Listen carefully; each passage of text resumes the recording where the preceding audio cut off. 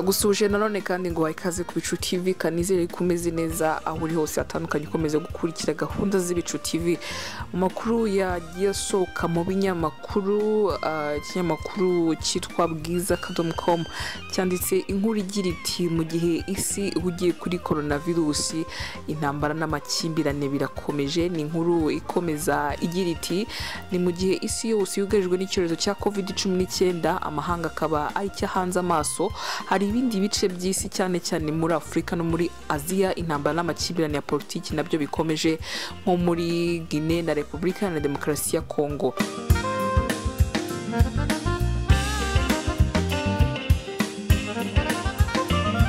umunyamabanga mukuru wa loni antoni guterres yahamagariye impande zihanganye hirya no hino gucecekesha imbunda ahubwo bagahangana n'iki cyorezo cyibasiye inyokomuntu muri rusange ku mugabane wa afurika ibihugu bigera kuri mirongo ine na bitatu bimaze kugeramo covid cumi n'icyenda ni mu gihe abandi bantu bakabakaba igihumbi na magana atanu bamaze kwandura. Ibi ariko ntibuje ko hari ibice bimwe na bimwe intambara n'amakimbirane bishingiye kuri politiki byakomeje hirengagijwe ubukana bw'iki cyorezo. Nko mu gihugu cya Guinea ku cyumweru ah, baramukiye mu matora ya referendum agamije guhindura itegeko nshinga ngo perezida Alpha Conde azabone uko yiyamamariza manda yiwe ya gatatu.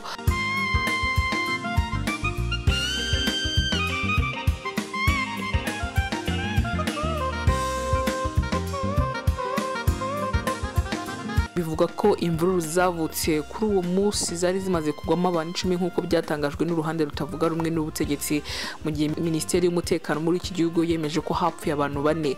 Itangazo ryasohowe n'iyi minisiteri rfa yabashije kubona rivuga ko babiri baguye mu myigaragambyo yamagana ayo matora mu gihe abandi umwe yazize impanuka undi akicwa n'umutima. Imvururu zadutse mu bice bitandukanye by'igihugu birimo umurwa mukuru konakiri ziturutse ku myigaragambyo y'uruhande rutavuga rumwe n'ubutegetsi rwamaganaga aya matora ya referandumu perezida alpha konde ni we wari warabaye perezida w'iki gihugu wa mbere watowe mu nzira ya demokarasi ariko manda ya kabiri yemewe n'itegeko nshinga ririho ubu ngubu yarangiye kukoza bibiri na cumi n'icyenda. Benshi rero bakaba basanga nawe ashaka kugundira ubutegetsi. Nubwo muri iki gihugu nta cyorezo cya coronavirus cyari cyahavugwa habaye hari umuntu wanduye muri iyi myigaragambyo yaba yaranduje abatari bake kuko basa nk'abatitagaho ko iki cyorezo kinariho.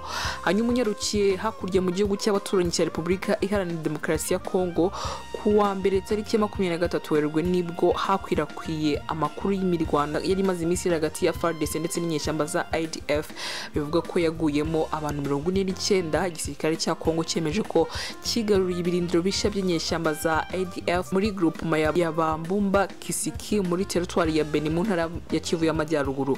Fardc yemeje ko yivuganye inyeshyamba mirongo itatu na zirindwi mu gihe yo yapfusha abasirikare cumi n'abiri nk'uko bitangazwa n'ibinyamakuru bitandukanye byo muri kongo birimo na media kongo ibibazo nk'ibi by'intambara n'amakimbirane bishingiye kuri politiki mu gihe isi yugarijwe na coronavirusi ni byo byatumye umunyamabanga mukuru wa loni antonio guterres yibutsa abatuye isi ko umwanzi bahuriyeho muri iki gihe ari covid cumi n'icyenda ni mu ijambo rye rigaragara ku rubuga rw'umuryango w'abibumbye guterres yibukije ko iki cyorezo kitavangura kigendeye ku bwoko uruhu ubwenegihugu uruhande umuntu ariho cyangwa se imyizerere aho yagize ati kiraduteye twese. Yakomeje avuga ko nubwo bimeze gutyo hirya no hino ku isi amakimbirane akoreshwamo intwaro akomeje abahura n'ingorane kurusha abandi. Rero ni abagore n'abana abafite ubumuga abahejwe n'abakuwe mu byabo. Antonio guterres yagize ati reka twe kwibagirwa ko mu bihugu byazajwe n'intambara uburyo bwo kwita ku buzima bwasenyutse abakora mu by'ubuzima basanzwe ari mbarwa bakunda kwibasirwa. Yakomeje avuga ko uburakari bw'iyi virusi buruta ubuswa bw'intambara aho yagize ati turekere aho uburwayi bw'intambara turwanye icyorezo kirimo kwangiza isi yacu. Niyo mpamvu uyu munsi mpamagarira isi guhagarika imirwano mu mpande zose z'isi.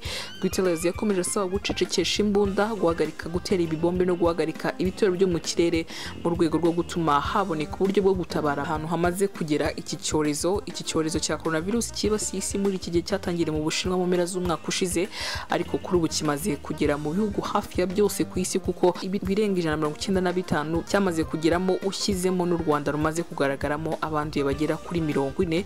Ni mu gihe abantu barenga ibihumbi cumi na bitanu na magana ane bamaze guhitanwa n'iki cyorezo ku isi naho abarenga ibihumbi ijana mu bantu ibihumbi birenga magana atatu na mirongo itandatu na bibiri bapimwe hirya hirya no hino ku isi bakaba barabashe kukirokoka gusa iyo urebye umuvuduko gifite mu gukwirakwira urushaho kubona ko isi yugarijwe ndetse ikeneye n'amasengesho y'abizera imana igatabara kuko bitabaye ibyo bikomeje gutya mu minsi iri imbere ibintu byarushaho kuba bibi ku batuye isi. Hagati aho ngaho mu gihugu cya mozambique inyeshyamba ziyitirira idini rya islam zafashe umujyi ukomeye.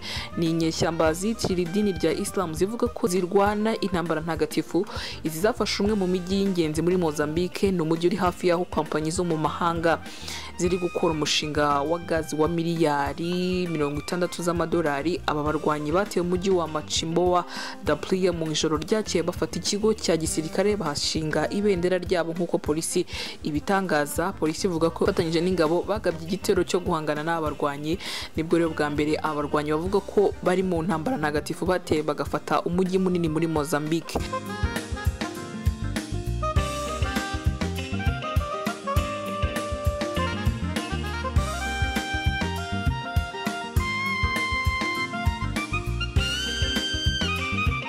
Ubusanzwe batera uduce tw'icyaro cyangwa se ibikorwa by'ubuhinzi n'ubworozi by'abaturage abaturage bakaba barakutse umutima bakavuga ko aba barwanyi bafunze inzira zose zisohoka muri uyu mujyi. Ikinyamakuru kigenga muri 24 hours gisobanura amagambo y'umwe mu bahatuye cyagize giti bari kujyana abantu ku musigiti bakabafungiranamo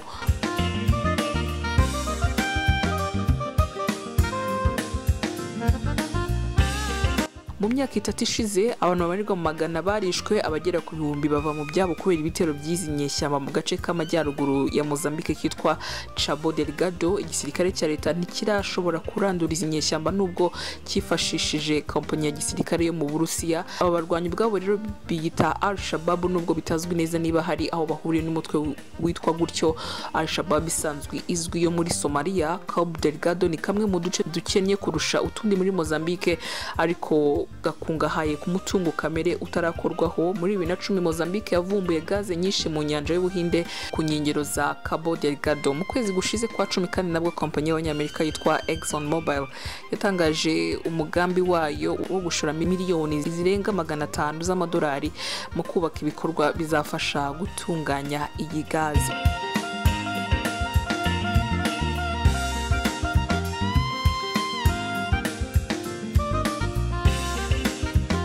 Iyi ni ibicu tv ndagushimiye nawe uramutse ufite ikibazo cyangwa se igitekerezo ntibagirwe kubidusigira muri comment.